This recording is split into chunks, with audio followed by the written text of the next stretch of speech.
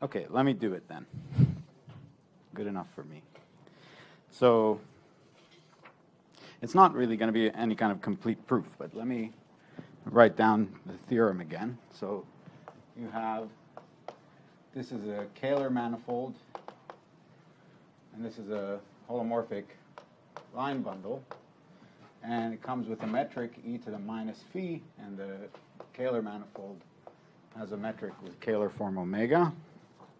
Um, and then you assume that dd bar phi uh, plus the Ricci curvature is greater than or equal to some theta, which is greater than or equal to 0. Then, uh, for all alpha, d bar closed, L valued, uh, such that so the integral over x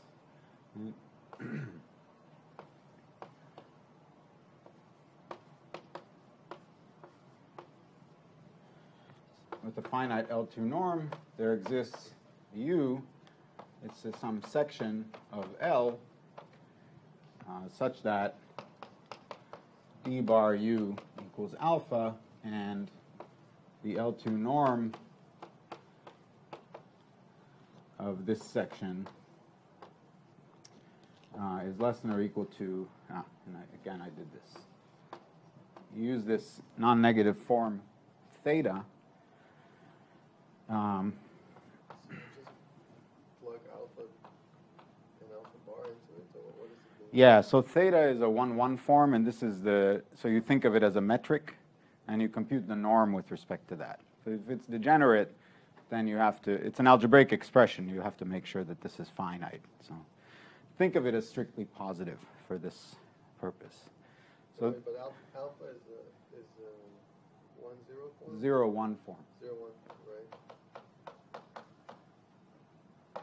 So if you write um, alpha equals alpha, say i, d i bar, dz bar i, and you write theta as theta i j bar, dz i wedge, dz bar j, and the raised indices mean uh, the inverse, then, then uh, alpha squared theta is alpha i bar alpha j bar bar theta j i bar.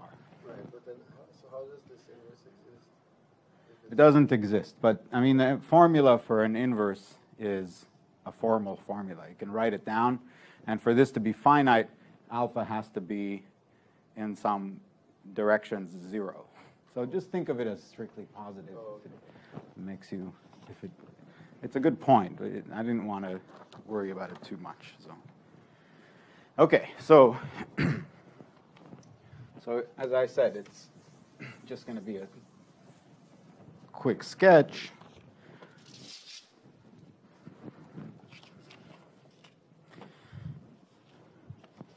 Right. So,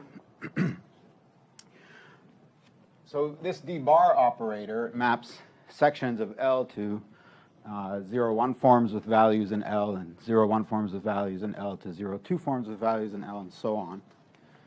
So you can compute an adjoint for this thing. So it's going to map a 0, 1 form to a function. Um, and the way you do that is you take a smooth section with compact support and you define the adjoint. This is the formal adjoint by this formula. So this is a norm for sections. This is a norm for 0, 1 forms. And then you form this Laplacian d bar, d bar star, This with respect to omega? with respect to the data that's defining the L2 norms here, omega. Yeah. Yes. Yes. Um, and so you make this Laplacian associated to the d bar operator. And okay. So what you're going to want to try to do is solve the equation. This is another 0 1 form, say v uh, equals alpha. Okay, so you want to somehow argue that this guy is invertible. So there's a little trick um, to try to estimate it. So you can think of alpha in two ways. First, you can think of it as a 0, 1 form with values in the holomorphic line bundle L. And so that has a d-bar operator, and that's where our operator comes from. But you can also think of it as a section of t star 0, 1 x tensor L. And then you may want to try to apply a d-bar operator to this guy, but you can't because this is not a holomorphic vector bundle. So you want to turn it into a holomorphic vector bundle, which you can do um, by using the metric. Um, so by using the metric, any 0, 1 form will turn into a 1, 0 vector field. So by using the metric omega, you get sections of this guy. And then you have a d-bar operator associated to, it's not a section, it's a d-bar operator associated to sections. And if you conjugate that operator, you get an operator that's called nabla bar. And so you can try to compute a Laplacian for this operator. But now this operator maps sections of this vector bundle, which are not seen as differential forms, into uh, 0, 1 forms tensored with this thing. So they're like 0, 1 forms squared. They're not 0, 2 forms. But anyway, so you can also compute an adjoint for this guy with the appropriate inner product for such sections. But um, remember that now this is a section. So when you form the Laplacian, you don't have this term. So then you have another Laplacian, nabla bar star, nabla bar. And the magic is that formally, these two operators, they differ by a zeroth order operator. So this is an identity, I think first written down by Kodaira, but it comes from a technique sort of worked out by Bochner, done more carefully here. And the amazing thing is that this is, in this case, exactly d d bar plus the Ricci of omega. Okay, so now what you've got is a, well, this operator, this Laplacian is always, any Laplacian is always non-negative. So if you apply, right, d bar, d bar star plus d bar star, d bar, say to some form beta, take inner product with beta, that's equal to the norm d bar star beta squared plus the norm d bar star d bar beta squared. These are different norms for different spaces, but they all come from the same data. And so what you get here is that this is equal to nabla bar uh,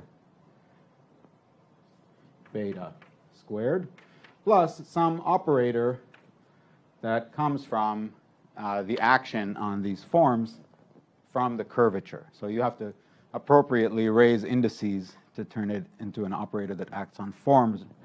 But I'll just write it L of, well, maybe I'd, it's, whatever. Yeah, L is fine. It's a multiplier.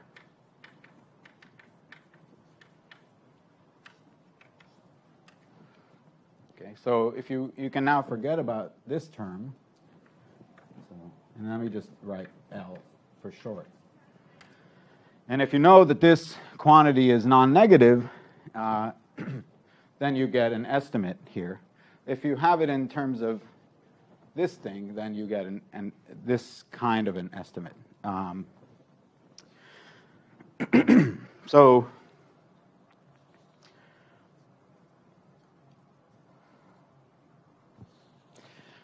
right, so maybe just to so I, at this point, if you want to proceed sort of rigorously, you have to invoke a little bit of precise functional analysis. But morally, it's already clear what's going on. So this operator L gives a kind of lower bound for the smallest eigenvalue of the Laplacian. So if it's positive, then you can invert the Laplacian. So that's, that's morally what's going on. Even though there are all sorts of issues of regularity, but we just assume that those will work out in the end. Okay, and so now that means that if you if you've got any 0, 1 form, you can solve the equation Laplacian v equals that 0, 1 form. But that's not, not still not Hormander's theorem. Actually, um, the way you do this is you use this norm to define a Hilbert space. This inequality tells you that it is positive, and then you just use the Riesz representation theorem, and it tells you that the solution V will be uh, will have a norm, this particular norm, less than. This inequality says that the inclusion of this Hilbert space in L2 is bounded, and then uh, and then if you and then the solution then when you invert it, the solution, the norm of this solution will be less than or equal to the norm of this alpha in L2. Let's just say that you get a solution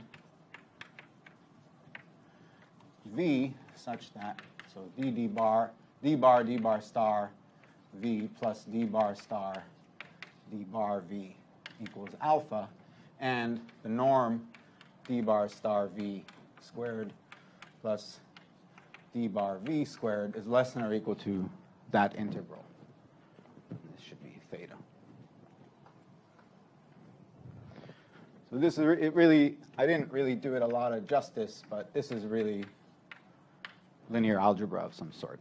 So, okay, but this still doesn't give us the theorem that we're looking for, except that if alpha happens to be d bar closed, then you can apply d bar to this whole thing, and you, this term will go away because you have d bar squared.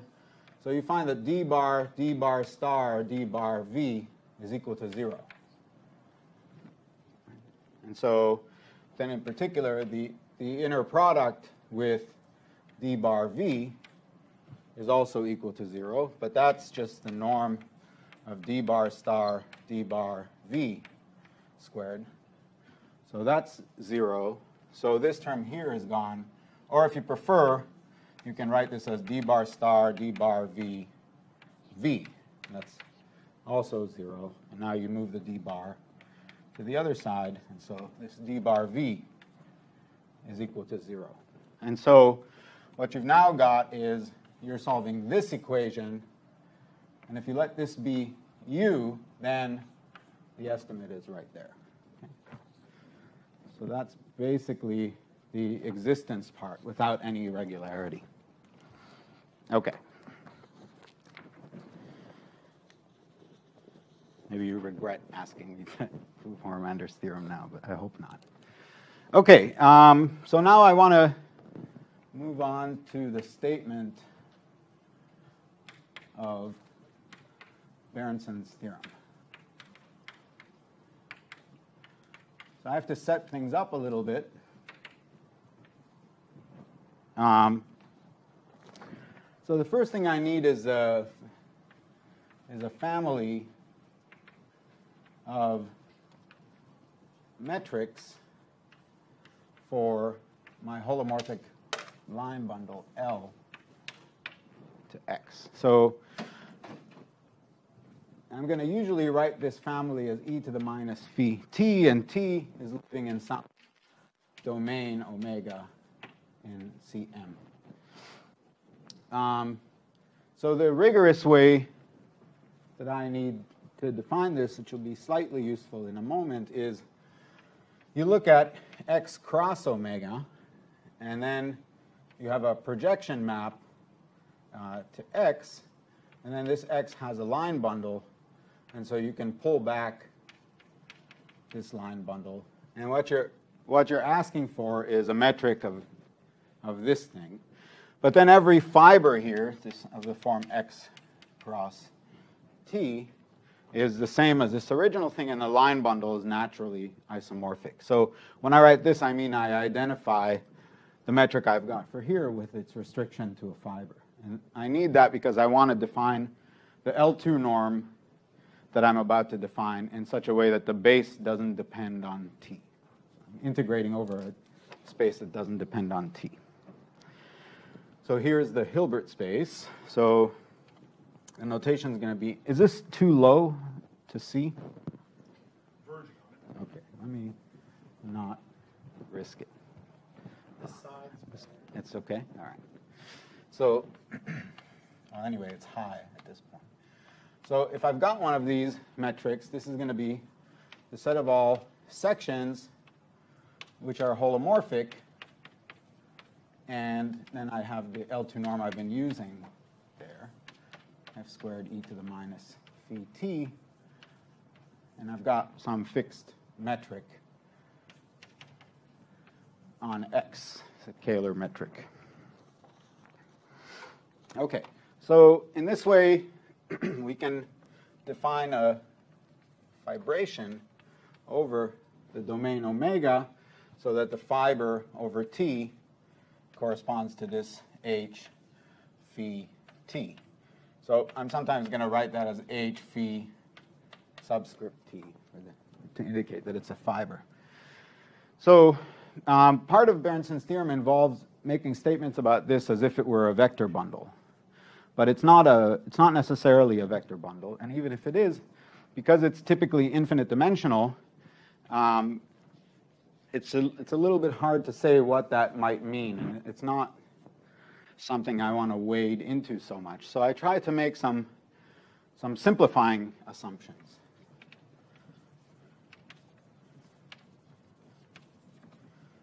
It still becomes a very useful theorem. The point, the thing you first do is that you put this x as a relatively compact uh, domain inside some larger manifold y. And then I need some technical hypotheses that I don't want to go too deeply into. They're not 100% necessary, but they make everything easier. So I'm going to ask for this to be a Stein manifold. So most of you probably know what that is, but if you don't, it's a closed submanifold of some complex Euclidean space, complex submanifold. And then this domain shouldn't just be any domain, it should be so-called pseudo-convex. So if you don't know what that means, then it means that you have an exhaustion function of this thing. So there's a smooth function on x, which is strictly plurisubharmonic, and so the sub-level set, so all the points below a certain given level, is, uh, is relatively compact inside Y. That's what pseudoconvexity means. So in particular, this thing is also a Stein manifold. But the advantage is that um, now I can have my data be defined over here and then the L I'm using is just a restriction to x of the ambiently defined thing. I can also have my Kähler metric coming from this ambient manifold. So in other words, this data here, it all extends to some larger space. And then you've got these holomorphic sections, so they're nice and smooth. And so if, if you're in a Hilbert space for any given t, then you're in the then this same f is in the Hilbert space for all other t. So somehow what that means is that if you think of this vector space as a subspace of the holomorphic sections of L, then it's independent of T. So that's one thing. But also, the norms that you get here, they're, they're equivalent norms in the analysis sense. So these are all quasi-isometric. So you have a family of Hilbert spaces that are quasi-isometric. Okay? So that's the situation we want to be in.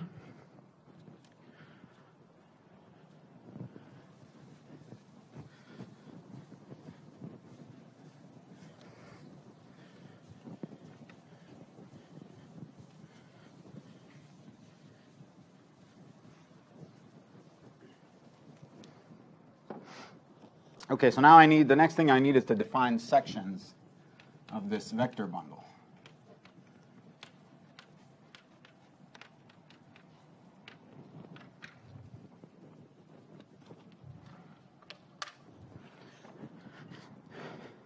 Okay, so what is a smooth, smooth section?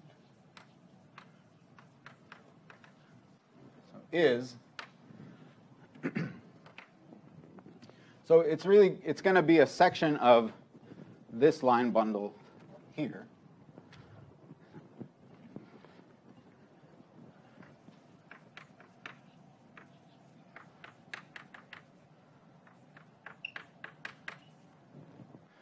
So whose restriction, uh, let's, let's give this section a name, say S. So ST that's the section on the restriction to X cross T, but thought of as on X, naturally isomorphic. So this ST should be in H phi T. Okay? So you automatically get some smooth things, but they're actually holomorphic and L2 on each fiber. Now, the, the reason you, you- do that is because you can now define a d-bar operator. Now you have a d-bar operator for this thing. You just take d-bar of S, and then you restrict it to fibers, you get 0, 1 forms in the, in the horizontal direction. But because they're holomorphic on the fiber, you don't get any d-bar component vertically. Okay, so we're sort of turning it into a holomorphic vector bundle at the same time. Okay, so what's a holomorphic section?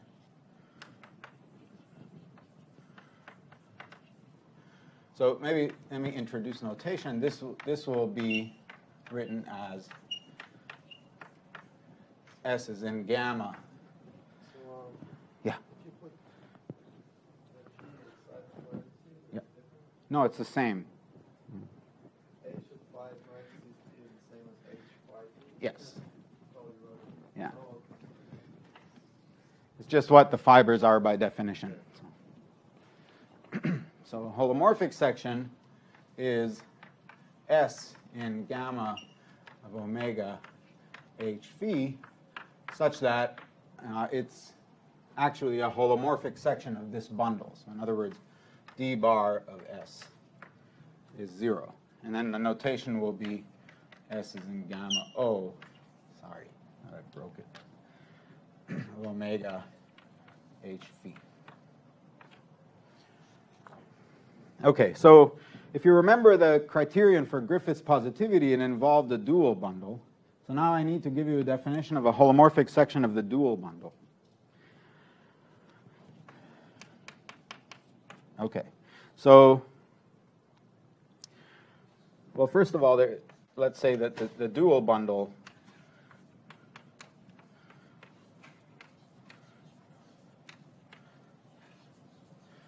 is, is the bundle of Hilbert spaces that are fiber-wise are the dual spaces. So I just remind you that the norm, um, the norm of a vector c in the dual space over T is um, the sup of, so you take some element f in h phi t, f is going to be in h phi t, and you take this, you pair it with c, which is an element of the dual, and then you divide, divide by the norm with respect to t. And then,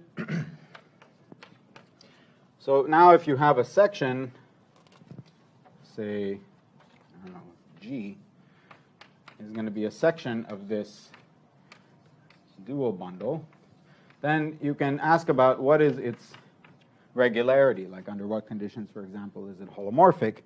Well, um, if you take uh, any, so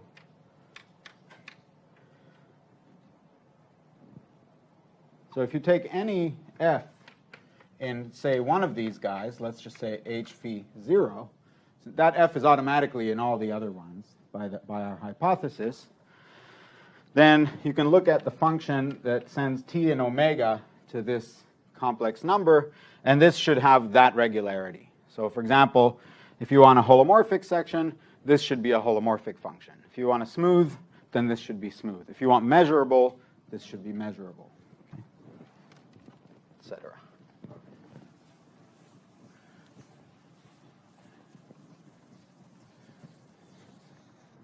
So holomorphic section of the big bu- bundle is just, um, it just means it's holomorphic for each L? Or is it more than that? It's, it's, uh, it's more than that. So the, if it's holomorphic on each xt, I think you meant uh, x cross t. It's a section of the pullback of L over x cross omega. Yes. No, it's more than that. It also varies holomorphically in T. Yeah. So it's both. If it's holomorphic, it's a holomorphic section of this whole thing. So it's holomorphic in the Right, right, but so if it's holomorphic in omega plus that restriction is a holomorphic section of L, that's it. So the restriction is always a holomorphic section of L. That's the definition of this, of the vector bundle. But in addition, you want, In addition, you want holomorphicity in omega. that's yeah, well, also L2 in the fibers, but. But I mean, you know, a lot of times we're doing this shrinking of domains, so it's effectively, The same. under this hypothesis of shrinking and having all the data living from the ambient space, because it's smooth beyond the boundary, and the boundary, and it's a compact set, so. I want to give some examples of sections. One, not holomorphic, and two, holomorphic. of the dual, of course. I thought we'll never see examples. Why? How is it- You're just asking your questions too quickly. Okay, so here's an example of a smooth section.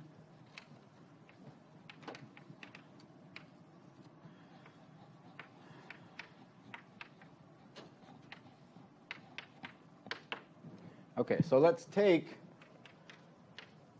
some section which is a holomorphic section of of L, uh, or I should say, just a holomorphic section of, right, the original vector bundle, not the dualized bundle. And now you can define, so C T, uh, this is going to define a, a section of the dual. So CT acting on some F is by definition uh, the inner product of F with uh, S, ST. So that is, is the inner product associated to this Hilbert space. So that's clearly gives you a linear functional on every fiber, but it's almost never holomorphic. Even if this section the section S that you started with is holomorphic. Um,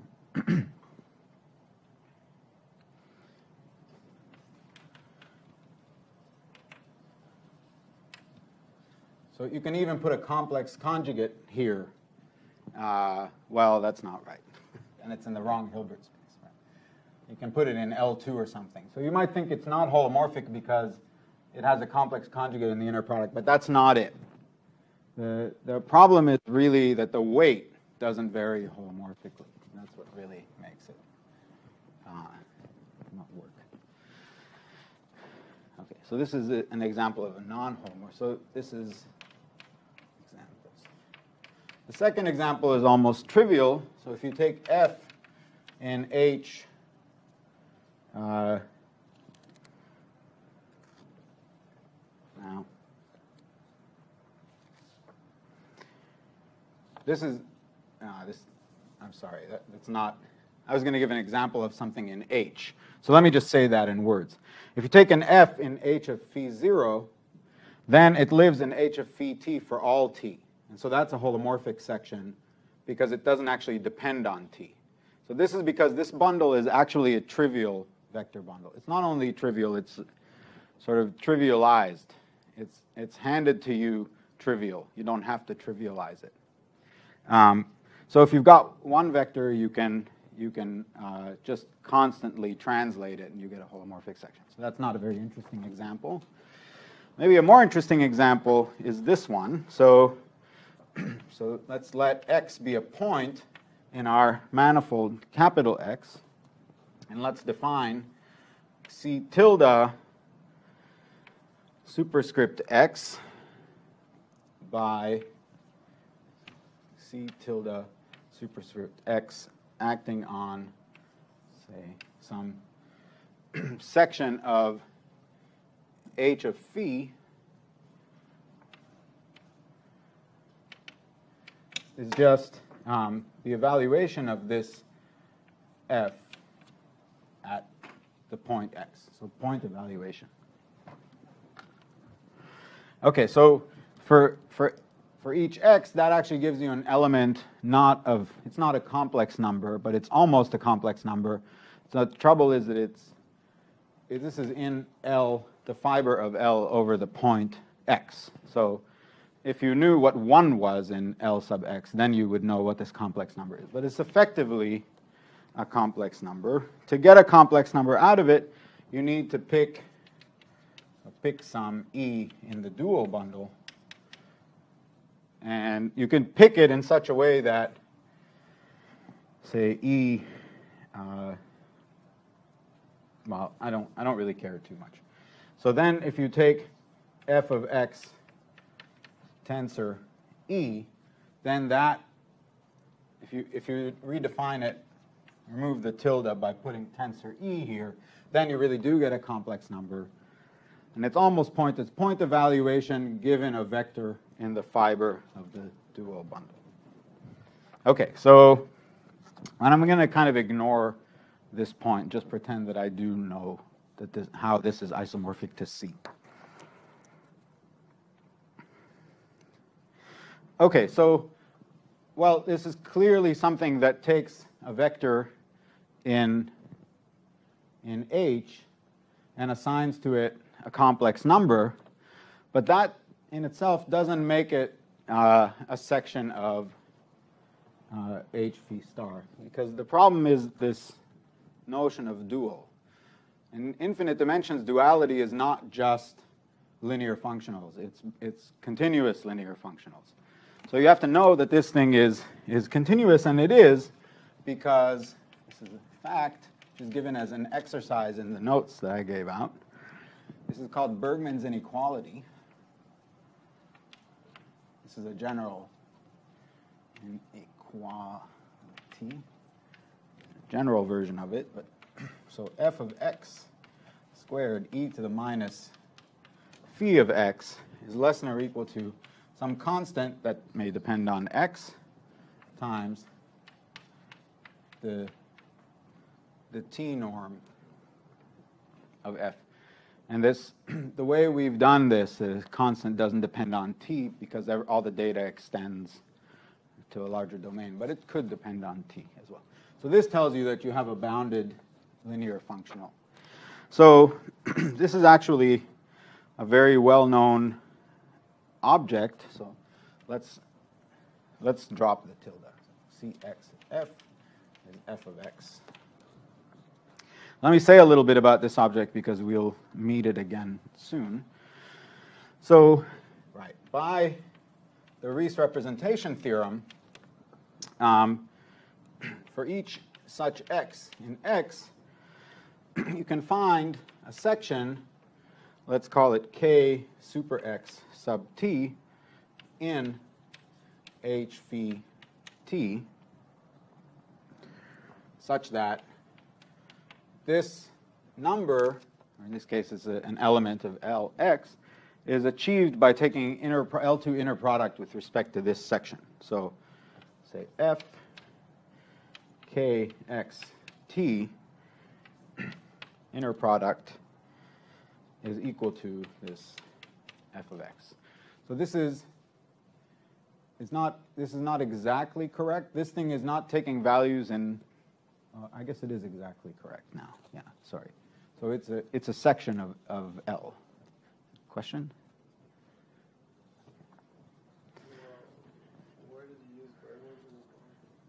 The boundedness. The Bergman's inequality exactly means that this is actually is an element of the dual. Right? This, this says that this, the norm of this, of this number is less than or equal to some constant times the norm of the vector in the Hilbert space. That's what boundedness, that's what continuity of the linear functional means. Well, yes, you want to show it's in H star. What does it mean? No, it's bounded linear functionals. Yeah, otherwise this Riesz representation theorem doesn't hold. And, uh, so this thing takes F, F is in H? Yes. And then the, the output is f of x. Doesn't that depend on T as well? Well, I mean, you do this for each t. So it's a section.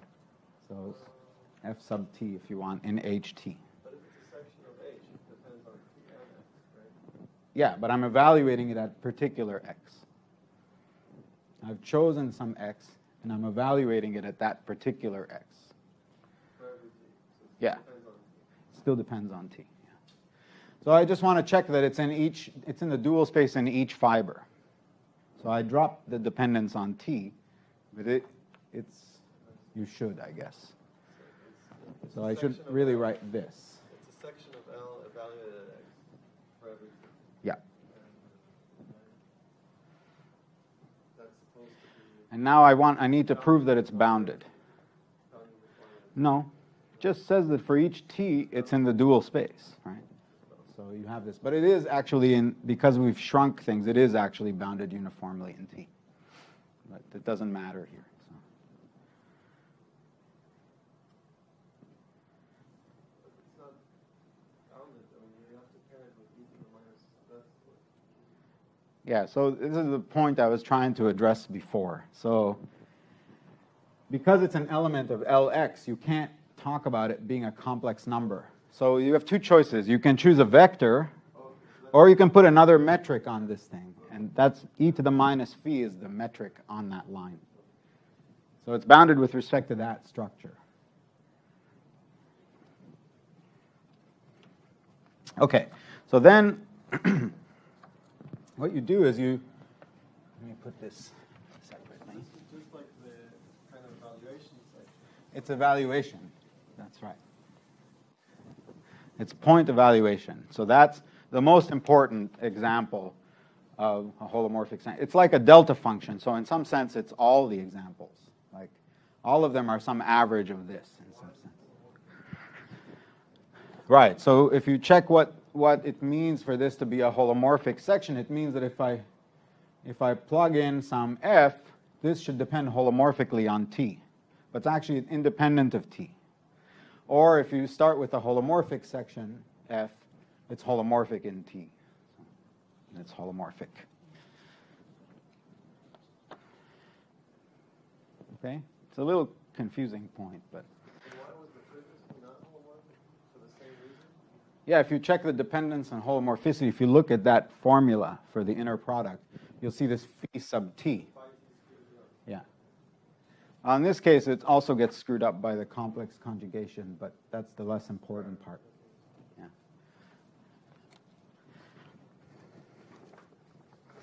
Okay, so then there's this. So this guy here, it depends holomorphically on some variable that's not x. But how does it depend on x? Well, so what we do is we we define kt of x and y to be, this is maybe bad notation. So you take this k superscript x, plug in y, and take the complex conjugate. And this is a well-known object in complex analysis. It's called the Bergman kernel.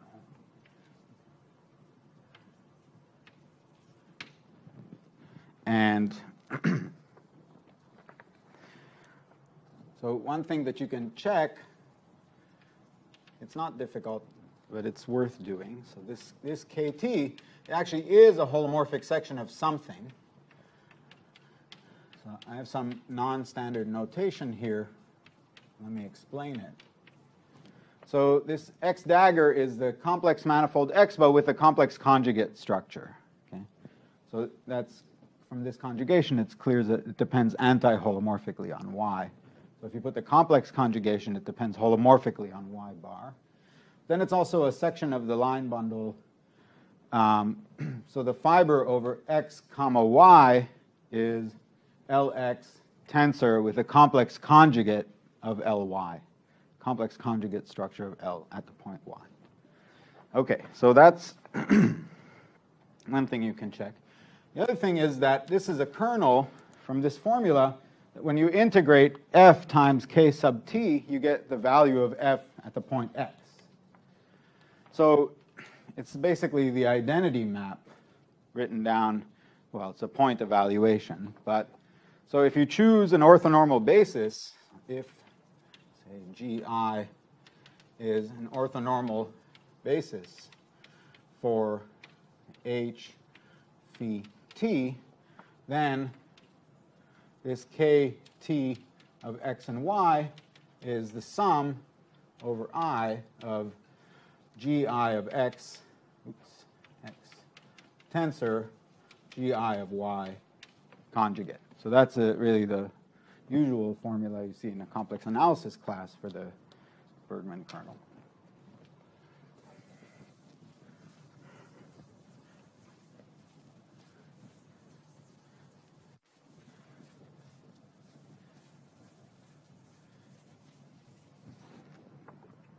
But you just do it for each T, you know, the Bergman kernel. Yeah, that's right, and that's that's what this is. It's the Bergman kernel for each t. And then the evaluation section is like the dual of.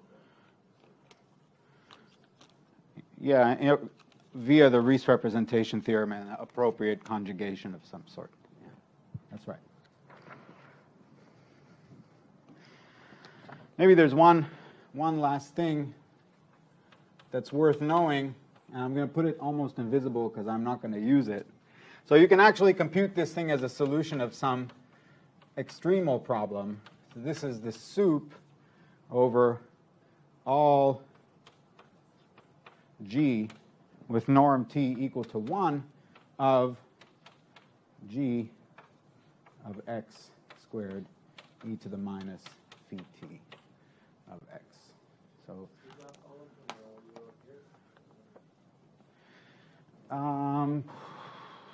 and the representation theorem, yeah. So you could do it that way, or you could do it from this statement by first choosing an orthonormal basis for the things that vanish at x. And that's a hyperplane because the evaluation is bounded. So there's only one other direction, and this guy is the guy in that direction. So that's a kind of explicit way of finding the actual section. Okay. Uh, okay, now I can finally state Berndtsson's theorem. No, I'm going to put it over here.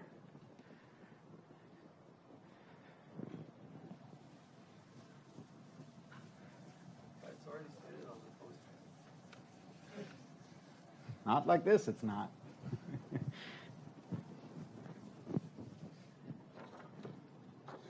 Okay, so so we can call this theorem 1, which is its number in Berndtsson's Annals paper.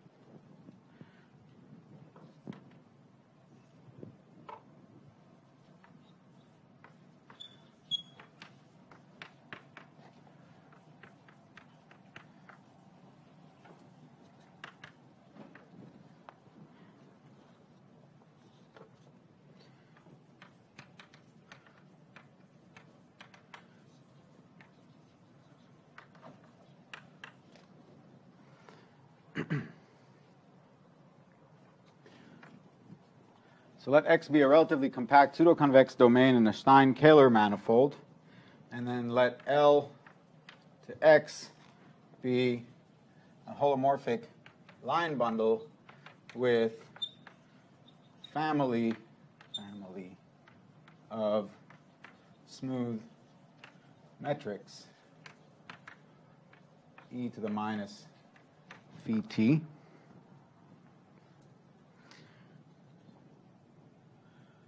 So if the curvature of these, I shouldn't say it like this. Um, let me explain and let me just write it down.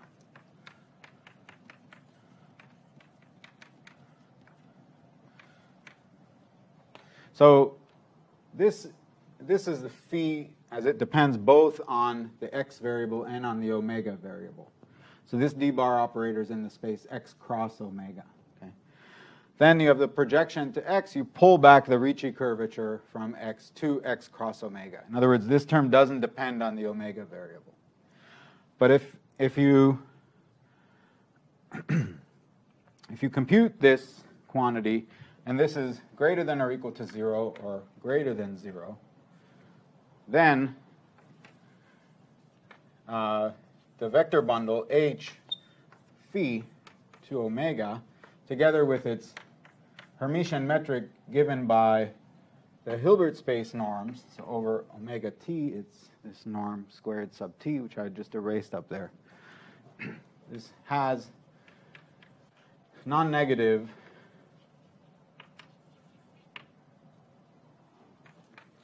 respectively positive Nakano curvature. Has,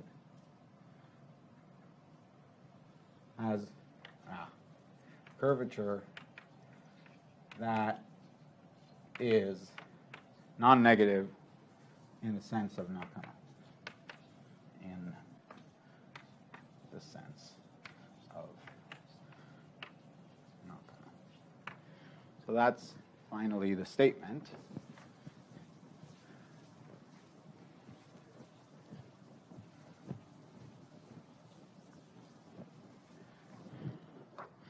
Um, and there's the one-dimensional version.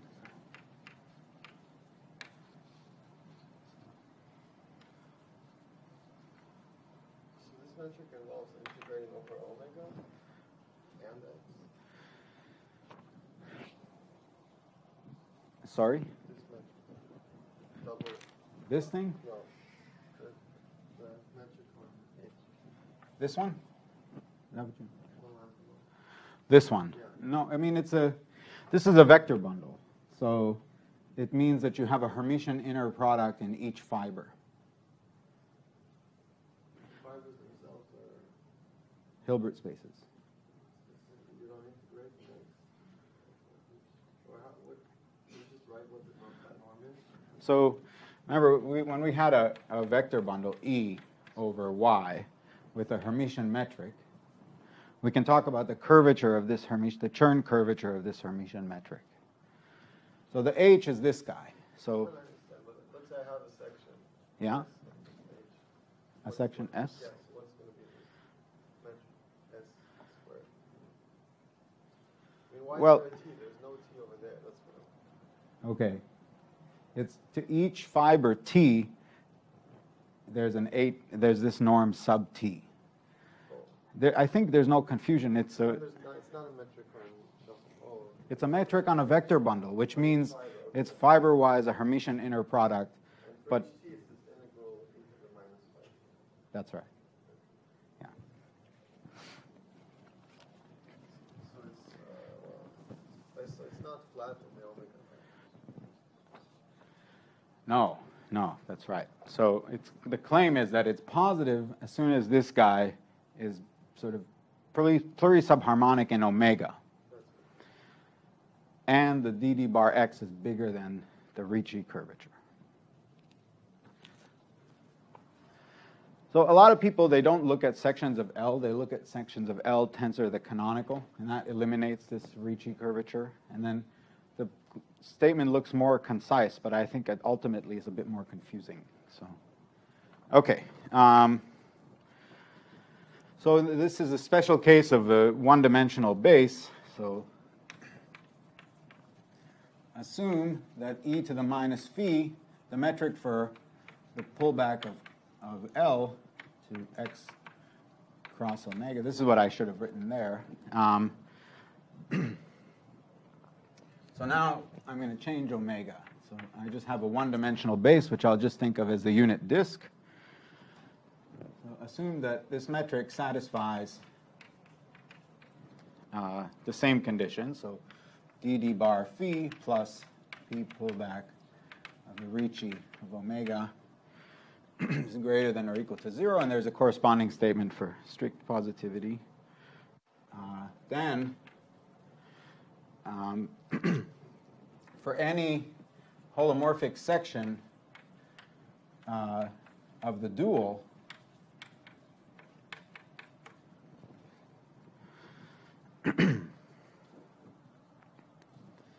that's not identically zero, let's say, uh, the function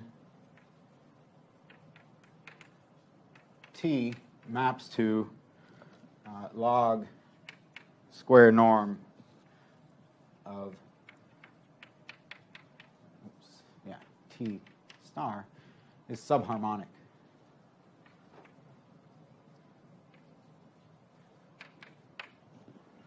So that's the, this is the one-dimensional base version of that theorem. It generalizes to bases with a higher dimension, but the statement would be Griffiths positive, not Nakano positive.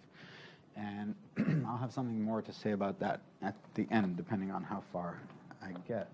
Okay, so I want to get back to this Bergman kernel uh, for say a little bit more about it, and then we'll end there. Next time we'll prove these two theorems in reverse order. Okay, so let me say something about the Bergman projection.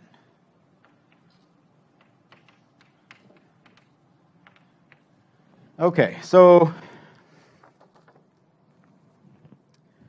we started out defining these Hilbert spaces of holomorphic sections, but the holomorphic part was kind of self-induced uh, torture, I guess. You could avoid the holomorphic thing as well. So you could, for example, de define L2 of phi t. So this is just a set of sections such that oops, dv finite, but not necessarily holomorphic. You could start with the smooth sections and then just take the Hilbert space closure. That's like the complex analytic geodesic definition, and then in measure theory, you prove that these things are measurable and square integrable and so on. So, and then you have this subspace, which was what we defined before. And this Bergman's inequality actually tells you that it's a closed subspace.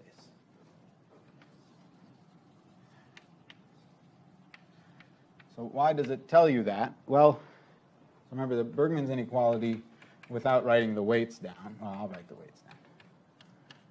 Tx is less than or equal to the norm f t squared when f is holomorphic. Okay, so now suppose you have a, a sequence of fj's converging to f in L2.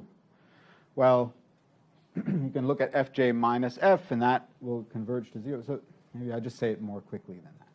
This says that the, that the L infinity norm is controlled by the L2 norm. So if you have a sequence of things converging in L2, then they actually converge locally uniformly.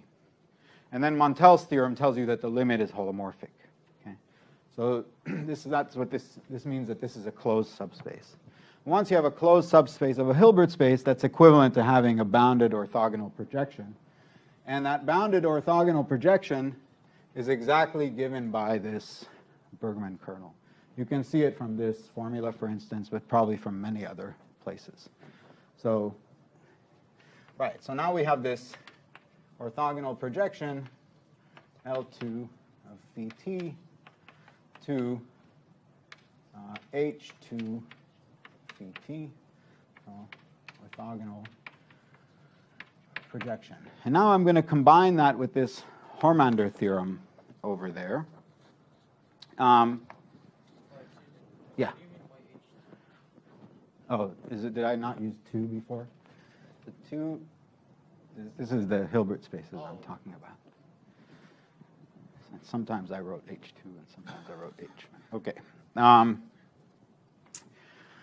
right. So now, suppose you want to it seems like an aside, but this is the main reason I introduced Hormander's theorem. So suppose we seek to solve d bar u equals alpha with uh, good estimates. Well, Hormander's theorem is the thing that gives us good estimates. But what would be the solution that would have the best estimates? Well, if you've got two sections uh, that, whose d bar is the same alpha, then the difference is holomorphic. So if you want to get the one with the minimal norm, you need the one orthogonal to the holomorphic subspace. Okay? So another way of saying that is if you take u and subtract away the projection, then this thing will solve the equation d bar equals d bar of u, and it will also be the solution of minimal norm. So in particular, Hormander's theorem will apply to it, and then you get that the integral of u minus ptu squared e to the minus phi t over omega, if you have a theta like in Hormander's theorem, this will be less than or equal to the integral, not omega, this is x. and yeah, dv x d bar u.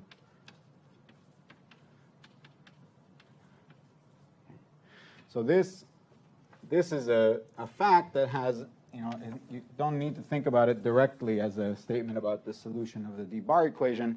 It's just a, an estimate, and this should say theta, sorry. It's just an estimate that we need, and we will use it to, morally speaking, I won't use this language, but we're going to compute the curvature of this guy, and then the curvature of this guy will be given from the curvature of this guy by adding the second fundamental form. And we're going to want to estimate the second fundamental form, and that will be the key result that we use to estimate it. So that's morally what the proof is going to go like, but practically I, I won't need to use those words. So, okay, that's good for today, I think.